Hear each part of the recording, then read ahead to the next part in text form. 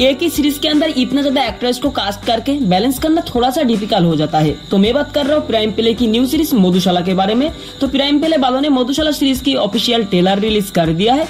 तो ये टेलर के अंदर क्या अच्छा क्या बुरा देखने को मिला, इस वाले वीडियो में डिस्कस करेंगे। तो वीडियो स्टार्ट करने से पहले प्लीज़ भाई छोटा सा एक लाइक कर दो। तो चलिए, शुरू करते हैं। तो पहले बात करते हैं एक्ट्रेस के बारे में। तो टेलर के अंदर देखने को मिला है रानी पोरी गुरमीत कर, कोमोलिका चंदा और सुबी शर्मा को। मगर ये सीरीज़ के अंदर और भी दो एक्ट्रेस है, रूही और अदला बदली वाला एक्ट्रेस जिसको भाई टेलर के अंदर देखने को नहीं मिला है, मगर तुम लोग को सीरीज़ के अंदर ज़रूर देखने को मिल जाएगा, क्यूँकी इन दोनों को ट्रेजर के अंदर और पोस्टर के अंदर देखने को मिले थे। तो ट्रेलर के अंदर इतना बड़ा बड़ा एक्ट्रेस को देखने को मिल रहा है? तो सीन के मामले में तो उम्मीद लगा ही सकते हैं। मगर एक ही सीरीज़ के अंदर इतने ज़्यादा एक्ट्रेस को कास्ट करके बैलेंस करना थोड़ा सा डिफ़िकल्ट हो जाता है। तो इस बार टेलर के अंदर एक यूनिक सा स्टोरी देखने को मिला है, जिन्होंने टेलर को अभी तक नहीं देखा। तुम लोग प्राइम प्ले की ऑफिशियल यूट्यूब चैनल पे जाके देख सकते हो। और ये series this Monday Prime Play app पर स्ट्रीमिंग करते हुए देखने को मिलेगी। तो कौन कौन एक्साइटेड है सीरीज़ को देखने के लिए, इस वाला वीडियो पे छोटा सा कमेंट करके बता सकते हो। तो यही था एक छोटा सा इन्फॉर्मेशन वीडियो वीडियो अच्छा लगे तो एक लाइक कर देना। मिलते ऐसे कोई वेब सीरीज़ की जानकारी लेके।